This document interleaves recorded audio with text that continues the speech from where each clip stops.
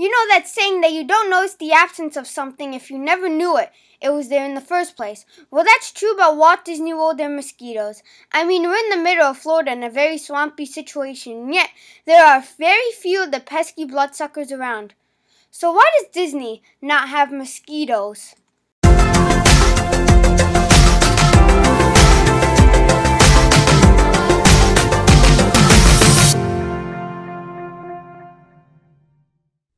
Well, they get some help from the Reedy Creek Improvement District, the Disney owned governmental body for the property Walt Disney World sits on.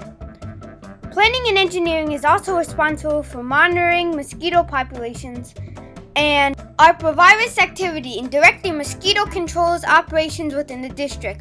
Mosquitoes are collected, counted, and identified by species weekly from 70 different sites. Additionally, representative sample mosquitoes are dissected to determine their age and thereby identify their ability to transmit disease. District currently houses eight sentinel chicken flocks. The chickens are tested weekly throughout the year for the presence of antibodies to mosquito borne viruses.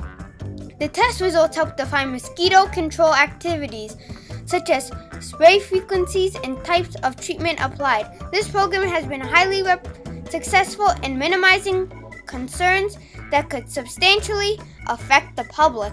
Yep, that's right. Somewhere on Disney property right now, a couple of flocks of chickens being kept alive as canaries in a coal mine.